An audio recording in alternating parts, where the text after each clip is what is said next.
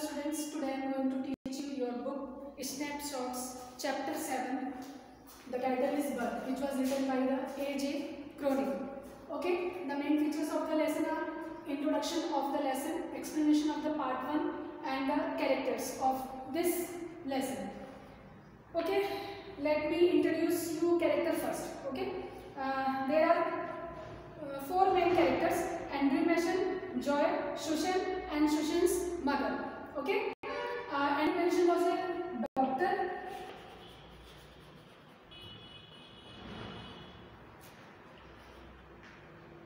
Joy is here.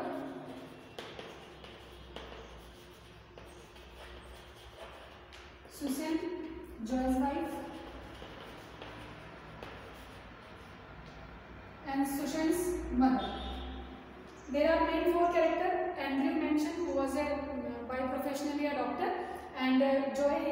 Neighbor, Sushan, Joy's wife, and Sushan's mother. Okay.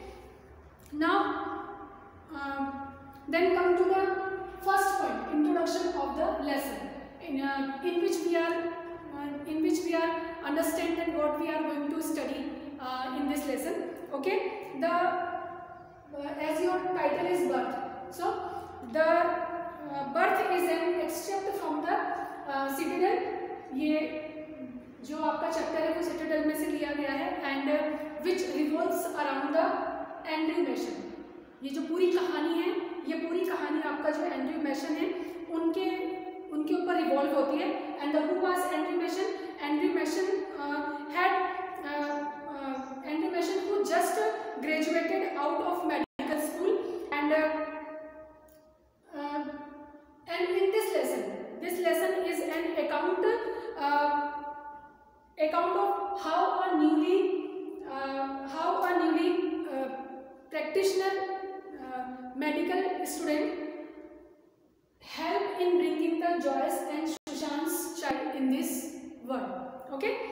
and uh, while it is a very tough time for him as uh, as he he is very tough time for him as he was he was uh, some misunderstanding with his girlfriend Christine okay होता क्या है कि ये जो chapter है ये जो chapter है आपके मैंने आपको बता दिया कि सिटाडेल के अंदर उसके अंदर लिया गया है जो पूरी स्टोरी है पूरी स्टोरी है एंड्रयू मैशन है एंड्रयू मैशन के ऊपर ही ये जो आपकी स्टोरी है रिवॉल्व करती है। और बाई प्रोफेशन अगर हम बात करें एंड्रयू मैशन की तो ये जस्ट इन्होंने अपना मेडिकल से ग्रेजुएट पास आउट किया। और ग्रेजुएट पास आउट होने के बाद ये जो लेसन है आपको बर्थ ये हमको बताता है कि किस तरह जो जॉय और सुशैन के बच्चे को दुनिया में लाने के लिए उसने कितनी आ,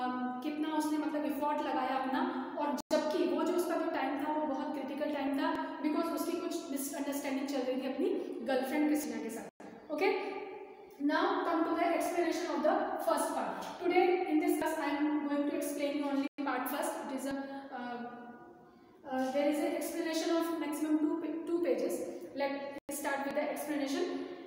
Okay when andrew when andrew uh, reached his house uh, at about 12 o'clock in the night he saw uh, joy he saw joy climbing up and down uh, at the stairs between his clinic and the uh, entrance of his uh, house and at the time when the joy saw Andrew he take a quick relief by seeing the Andrew होता है वो लगभग 12 बजे करीब वो अपने घर की तरफ़ लौटता है जैसे वो लौटता है तो वो देखता है जो जॉय है वो उसके जो सीढ़ी है अप स्टेयर्स जो है, उसके अप स्टेयर्स पे वो बार बार आ रहा है, चढ़ रहा है, उतर रहा है और जैसे ही वो एंड्रयू को देखता है तो उस थोड़ी वो राहत की सांस लेता है। Then Joy Joy tells Andrew how he has been waiting for him about an an hour as Joy's wife Joy's wife needs Andrew to examine before the birth of the child and at the time at that time Andrew mentioned uh, go back in flashback and he remembered the uh, he, he remembered the unpleasant night he had with his uh, with his girlfriend Christina. And but without wasting the time he told Joy that get outside the house and uh, he he got his bag and uh, they both walked towards the uh, towards the number 12 Bellina terrace where the Joy's wife was uh, Joy's wife was there. Uh, it was a cool night and there is total silence everywhere or it reveals some some mysterious uh, some mysterious sequence and uh, uh, Andrew who was very Andrew who was very full of life and spirit spirit of life of spirit but he was but he was silent at the time no idea what the night had in store for him. As soon as they reached, Joy revealed, uh, Joy revealed to Andrew that he does not intend, uh, he does not intend uh, in Andrew. Joy's voice was tense and uh, under pressure. Means होता ये है कि जैसे ही जब Joy उसको देख लेता है तो जॉय एंड्रू को बताता है कि लगभग एक घंटे से वो वहाँ पर उसका इंतज़ार कर रहा है। फिर वो बताते हैं कि मेरी जो वाइफ है, वो चाहती है कि तुम बच्चे के बर्थ के पहले तुम उसको एक बार एग्जामिन एक बार उसको एग्जामिन करो। और जैसे ही वो बोलता है तो एंडिंग जो है वो फ्लैश बैक में चला जाता है। वो याद करता है कि जो प्रीवियस नाइट थी, वो बहुत उसके लिए अनप्लीजेंट रही क्योंकि उसका झगड़ा अपनी जो गर्लफ्रेंड है, उससे हो जाता है। लेकिन फिर भी वो टाइम वेस्ट नहीं करता है। और जो को बोलता है कि तुम बाहर वेट करो। और मैं अपना लेकर आता हूँ। फिर वो दोनों एक एड्रेस है नंबर ट्वेल्व बेलिंगा टेरेस जहाँ पर जॉय की वाइफ रहती थी, वो दोनों वहाँ पर जाते हैं। और रस, उस समय का जो सीन है, वो सीन कैसा है कि बिल्कुल सर्दियों वाली रात है, सड़क पे कोई नज़र नहीं आता, बिल्कुल शांति, बिल्कुल सन्नाटा सा रहता है। और ऐसा लगता है कि कुछ रहस्यमयी घटना होने वाली है। एंड एंड्रू जो कि हमेशा जीवन से भरा हुआ रहता है, उत्साह से भरा हुआ रहता है, वो कहीं ना कहीं वो बिल्कुल चुप रहता है और अपने अंदर वो एक लैक ऑफ़ एनर्जी को फील करता है। और जो जॉय है, जैसे ही वो उनके घर पे पहुँचते हैं तो जॉय जो रहता है, वो जो है उसको ऊपर कॉन्फिडेंस दिखाता है कि नहीं, मुझे तुम पे कॉन्फिडेंस है। लेकिन कहीं ना कहीं because he was he was going to be a father वो एक पिता बनने जा रहा है तो उसके मन में थोड़ा सा वो अंडर प्रेशर है, थोड़ा सा टेंस है। तो ये होता है। ना what happen Uh, the bedroom was not lavish or luxurious, but it was neat. And inside the room were Joyce Morgan's mother-in-law, a woman of uh, a woman of average uh, average of uh, around of 70 years and larger than the and the and had larger height uh, than the average. And apart from it, another lady who who is a midwife is also there to attend the new baby मतलब जब वो दोनों enter होते हैं और जब वो उसके बेडरूम के अंदर जाते हैं, किसके बेडरूम में? जॉय के जब बेडरूम में जाते हैं तो वो देखते हैं कि वो बहुत ज़्यादा लग्जीरियस रूम नहीं है। नॉर्मल सा रूम था, लेकिन नीट एंड क्लीन था। और जैसे अंदर जाते हैं तो देखते हैं कि जो सुसैन की माँ है, यानी जो जॉय की मदर वो वहाँ पर रहती है। उनकी जो एज है, वो लगभग सत्तर साल की है। और बहुत टॉल हाइटेड लेडी हैं। साथ में एक औरत और होती है जो कि मिडवाइफ होती है और वो वहाँ पर उस बच्चे नए पैदा होने वाले बच्चे की देख रेख के लिए वो वहाँ पर होती है। ना what happen when the sweet he enter enter enter the room and जो एंट्री होता है वो रूम के अंदर आ जाता है। And the sweet old lady offer Andrew a cup of uh, a cup of tea and you gave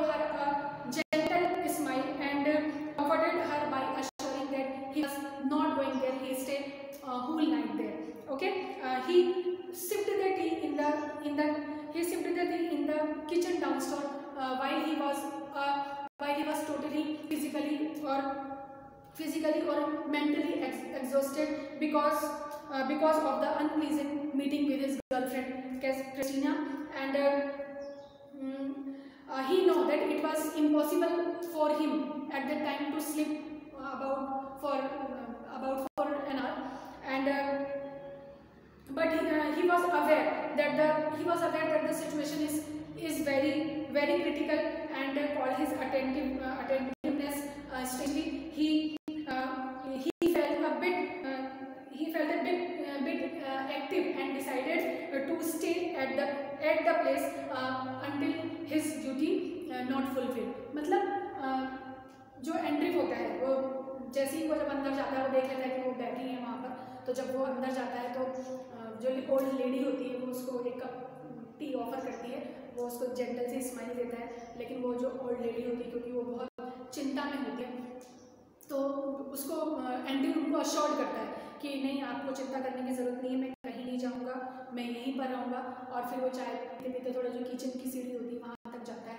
और लेकिन उस समय भी मेंटली और फिजिकली थका हुआ होता है और वो प्रीवियस नाइट को जब याद करता है, जब उसका क्रेस्टिना के साथ जो भी उसका जो मीटिंग हुई थी, जो अंतिम मीटिंग थी उसको वो याद करता है और लगभग और वो ये सोचता है कि अगर मैं घर भी चला जाऊँ तो मैं सो नहीं सकता और यहाँ पर अगर रहूँगा तो मुझे ये पूरा पूरा प्रोसीजर उसको हैंडल करना है उसकी जॉय की वाइफ की जो प्रेगनेंसी होने वाली है उसको पूरा हैंडल करना है तो उसको सोने नहीं मिलेगा इस चीज़ को बहुत अच्छे से जानता था लेकिन साथ में उसके मन में ये भी था कि जो सुशैन है सुशैन की जो जो उसकी जो इसकी जो कंडीशन है सुशैन की कंडीशन बहुत ही ज़्यादा टेरिबल है फिर वो डिसाइड करता है अपने आप में कि नहीं ठीक है मैं कहीं नहीं जाऊँगा और मैं यहीं पर जब तक मेरी ड्यूटी पूरी नहीं हो जाती है मैं यहीं पर रुकूँगा and he went upstairs about about hours to check upon Mrs Mrs. Morgan and the only sound that is coming is the uh,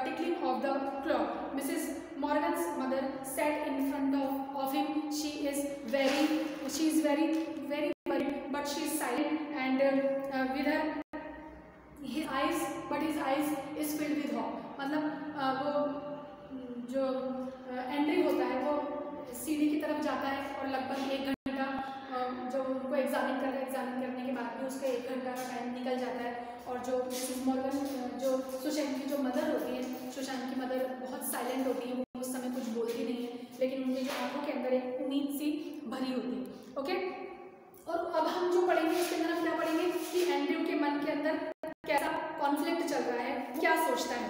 Clearly the earlier clearly the earlier unpleasant moments with Christine had taken roll in his mind मतलब वो जो Chris Christine के साथ जो भी उसकी बातें हुई जो भी उसकी अनप्लीजेंट मीटिंग थी वो उस मीटिंग के बारे में वो सारी बातें उसके दिमाग के अंदर घूमती रहती हैं। And he was still being haunted he was still being haunted by the incident that took place at Cardiff uh, Cardiff station. और कार्डिफ स्टेशन में जब वो अपनी गर्लफ्रेंड से मिलता है तो सारी जो जो बातें चल होती हैं वो उसके दिमाग के अंदर चलती रहती हैं। He begin he begin thinking of his friends and his acquaintance who had a bad experience of love and marriages वो अपने उन सारे दोस्तों को और अपने उन सारे परिचितों, परिचित लोगों को याद करता है, जिनको प्यार का या शादी का बहुत बुरा अनुभव रहा है। वो उनके बारे में, क्योंकि उसका थोड़ी सी मिसअंडरस्टैंडिंग हो गई है तो वो उस मिसअंडरस्टैंडिंग के अंदर उसके दिमाग में तरह तरह की बातें चल रही हैं। और वो ये भी जानता है कि मुझे अभी किसी की सर्जरी करने जाना है। मतलब आप एक डॉक्टर के मन का जो कॉन्फ्लिक्ट है, उसको आप समझिए। वो अपने पुराने फ्रेंड्स को, अपने सारे परिचितों को याद करता है। कुछ लोगों को जैसे वो याद करता है, जैसे कि he thought of he thought of Bramwell she cheated वो ब्रैमवेल को याद करता है, एक औरत थी, जो कि एंड्री उसको in affair Andrew is with in affair with but वो उसको चीट करती है। फिर उसके बाद वो he remember the contemporary of the his relationship of Edward Edward Page उसके बाद कोई उसका फ्रेंड था एडवर्ड पेज एडवर्ड पेज के बारे में uh, वो सोचता है and who had a very dominating wife और ही इज़ नॉट हैप्पी वो वो जानता है कि मेरा जो दो दोस्त जो एडवर्ड पैड है उसकी जो एडवर्ड पैड है जो उसकी वाइफ है, बहुत डोमिनेटिंग टाइप की है तो वो भी अपनी लाइफ के अंदर कुछ नहीं है। And lastly he remember the Denny is living away from his wife not so happy और जो उसका जो फ्रेंड है डैनी वो डैनी भी अपनी वाइफ से सेपरेट हो गया, क्योंकि उसका भी उसके साथ हैप्पी रिलेशनशिप नहीं था। तो वो इन सारी चीज़ों को उसके दिमाग में चलती रहती है। वो सोचता है कि भाई मेरी लाइफ क्रिस्टीना के साथ कैसी होगी? तो वो केस तो एक तरफ़ है, एक तरफ़ वो उसके जो सुसैन का जो केस था, वो उसने उसको अलग कर दिया और उसके मन का जो कॉन्फ्लिक्ट है, वो उसके बारे में अलग सोच रहा है। And he wished he wished to believe that the institution of marriage was a cheerful cheerful one to granted peace and companionship लेकिन बाद में वो अपने मन को समझाता है कि नहीं जो शादी होती है या जो लव अफेयर्स होते हैं, वो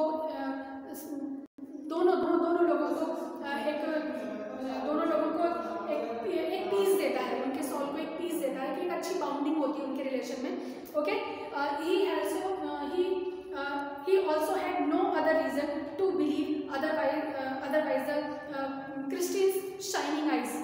उसके दिमाग में कुछ नहीं चलता वो तरह तरह की बातें सोचता है लेकिन जो क्रिस्टीन की जो आइज़ है वो उसके आँखों के आगे शाइनिंग है उसकी आँखों के उसके दिमाग में वही घूमती रहती है। And he was undoubtedly he was undoubtedly facing a conflict between the mind soul and heart उसके मन के अंदर एक द्वंद चल रहा है, उसका दिमाग कुछ और बोल रहा है, उसका दिल कुछ और बोलता है और उसकी आत्मा कुछ और सोच रही है। His mind was still preoccupied with with the Christine उसका जो दिमाग है, वो अभी भी अपनी गर्लफ्रेंड के बारे में क्रिस्टीन के बारे में वो सोच रहा है। Until the old lady broke the silence she was thinking about something और जब तक वो अपनी गर्लफ्रेंड के बारे में सोचता रहता है, जब तक कि जो ओल्ड लेडी जो है, वो ओल्ड लेडी अपने साइलेंस को बीच में वो नहीं नहीं तोड़ती है। अब वो ओल्ड लेडी क्या बोलती है? The old lady tells the doctor that how worried was Susan on account of his on account of his complicated situation क्योंकि सुजन अपनी कॉम्प्लिकेटेड सिचुएशन को जानती थी तो वो बहुत चिंतित थी. Even she refuse to take the anaesthesia if she if it would harm for the new baby और anaesthesia it's a kind of it's a kind of medicine by which the doctor doctor unconscious a person मतलब anaesthesia एक तरह का injection होता है जिसको बेहोशी के लिए दिया जाता है। तो सुशन ने उस इंजेक्शन को उतना पेन था उसके बाद भी उसने उस इंजेक्शन को लेने से मना कर दिया। क्यों? उसके मन ये था कि कहीं ये बेबी को बेबी को हार्म ना करे तो उसने उसके लिए मना कर दिया। She told him that the the old lady told him that how interested she was for her new born baby and the old lady corrected herself and and also also tell uh, told Andrew that uh, how how much they invested for the, for this for this baby मतलब वो सुशैन तो interested थी ही इसी baby के लिए, लेकिन जो बाकी फैमिली मेंबर्स थे उन्होंने बहुत सारा इन्वेस्ट किया। इन्वेस्ट का करने का मतलब था? कि मतलब उसके उसके उसके पैदाइश में जो भी लगना था, उन्होंने बहुत उस बच्चे के ऊपर खर्चा किया उसके होने तक में।